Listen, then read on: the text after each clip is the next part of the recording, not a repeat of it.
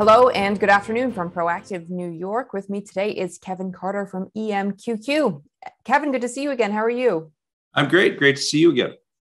Kevin, this is your expertise, the emerging markets. We are seeing some turmoil right now in the emerging markets with Russia, with the Russia invasion of Ukraine, sanctions against Russia not boding well for their economy. Can you comment on what's going on right now?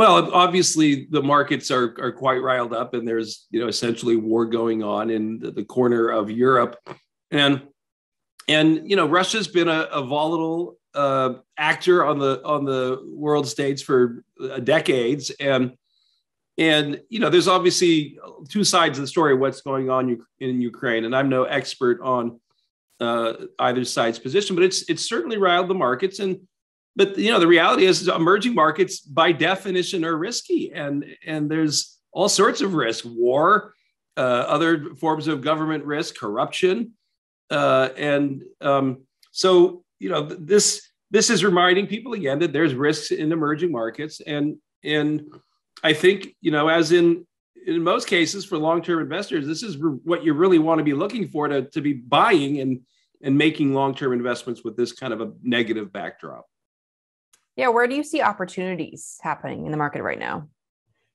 Well, the real opportunity in emerging markets is the internet and e-commerce companies, and you know that's largely been a China opportunity with you know, Alibaba and Tencent heretofore, but but it's spreading, and it's it's India, it's Brazil, it's Africa, and and it's the the same kind of businesses we've seen take over our lives the the the Facebooks, the Amazons, the Googles the Netflix. It's the local versions of those, the Mercado Libres in Brazil, uh, the Flipkarts and Paytms in India. These are the companies that investors ought to be looking in to investing in if they're going to invest in emerging markets. And I think any long-term investor should definitely want the emerging markets internet as part of their allocation because this really is going to continue to be the biggest growth driver uh, in the world over the next couple decades.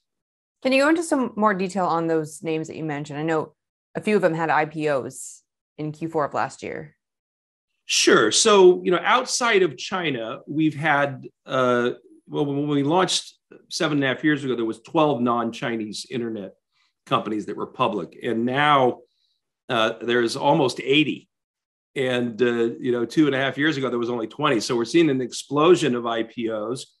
Uh, in India, where we're going to see a ton of IPOs, dozens perhaps in the next couple of years, uh, you had the fintech leader Paytm go public. Now, went public in India. Most of the Indian internet companies will not come public on the New York Stock Exchange or the NASDAQ because of the Indian bureaucracy. But Paytm is the fintech leader of India, which is a very good thing to be with lots of tailwinds, including a government that is set on digitizing their entire financial system. And Paytm uh, went public in the second half of the year. It top ticked the market and its valuation uh, range, and it's it's now down, you know, about sixty five percent. And then in South America, where there's a lot of exciting things going on, in December we had the IPO of Nubank, which is the world's on, largest online bank, uh, trading on the New York Stock Exchange with the ticker NU. This is a company that uh, uh, is is really fascinating. It was basically funded by uh, the people that built Mercado Libre and by U.S. venture funds and and even Berkshire Hathaway, a, an investor before the IPO, and it came public uh, in December. The valuations pre its IPO came in about 30% because the markets were, were coming in. And after the IPO, it's down another uh, 20 or 30%. So it's down about 50% in the last seven months. And meanwhile, they just reported 200% revenue growth and sequential growth in customers of uh, 10% just in the one quarter. So this is a, a high growth company that's profitable that most people don't know about. And uh, uh, these are the kind of companies, though, that I think any long term investor should want to have a good allocation to. And emerging markets investors should certainly make this the focus of their allocation. So just to wrap things up, how, how long do you expect this volatility to continue here?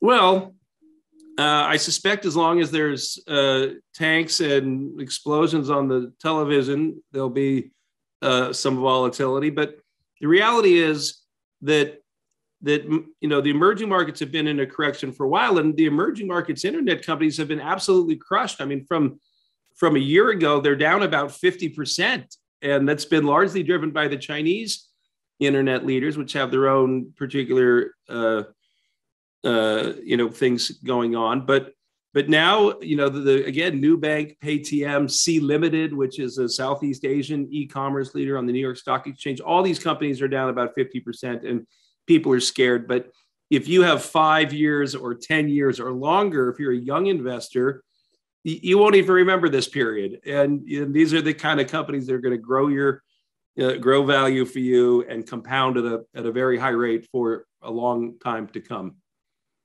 All right, Kevin, always great to get your take here. Thanks so much. Appreciate it. Thank you.